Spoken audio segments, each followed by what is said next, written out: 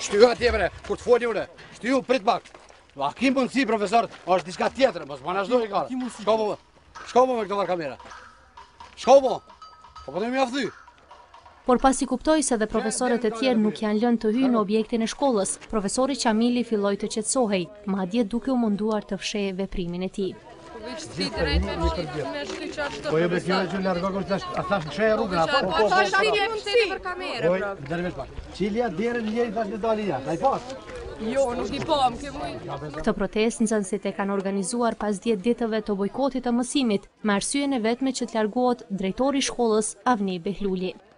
Ata janë shprehur se menaxhimi i shkollës nuk ka qenë në nivel të duhur dhe ankesat që ata i kanë bërë për shumë gjëra kanë shkuar në vesh të shurdhër. Nxënësit janë zotuar se ka pasur manipulime të ndryshme brenda shkollës, duke mos u ftuar asnjëherë nëpër ekspozita, fshehje e punimeve të tyre kulturore e më shqetësuesja është se, siç thonë ata, janë ofenduar nga profesorët në mënyrë eksplicite.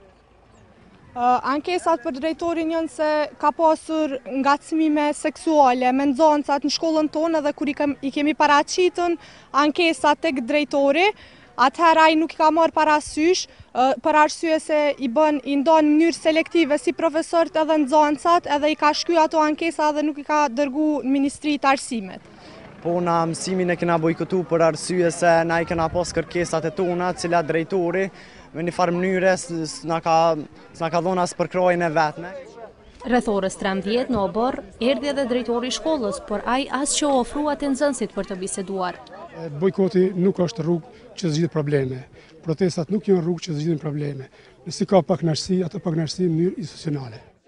Këta nxënës kanë marrë mbështetje edhe nga Këshilli i Veprimit Rinor Lokal dhe Këshilli i Nxënësve të Gjilanit.